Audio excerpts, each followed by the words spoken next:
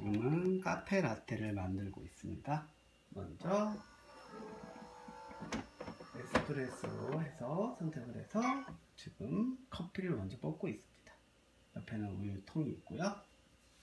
자, 에스프레소 나왔고 이제 우유 거품을 버튼을 눌렀습니다. 자, 우유가 가열되는 모습을 보여드릴게요.